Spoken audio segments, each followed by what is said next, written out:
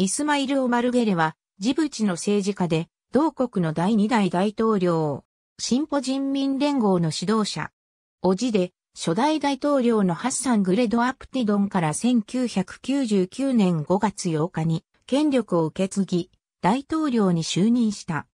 ジブチは、進歩人民連合による事実上の一党独裁制に基づいて統治されており、もともと反政府勢力であった統一民主回復戦線までも与党側に抱き込むことに成功、安定した長期政権を維持した。ゲレ自身も2005年の大統領選では唯一の候補として100%の支持で再選された。フランスの日刊紙、フィガロによると、もはや反対者は存在しないとされる強権的な政治手法を用いており、人権団体などから独裁者と非難されている。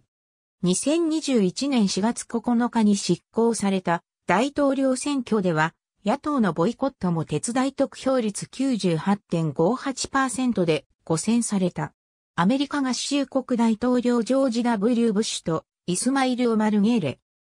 2001年以降は前政権時代に結ばれたジブチ中流フランス軍との軍事同盟を続けつつ、対テロ戦争とイラク戦争を支持して、アメリカ軍も恒久的に駐留させて、アメリカ合衆国と安全保障の関係を築き、さらに日本の自衛隊と中国の中国人民解放軍にとって初となる海外軍事基地の設置と高級化も認めるなど新米、新日、新中政策を行っている。ありがとうございます。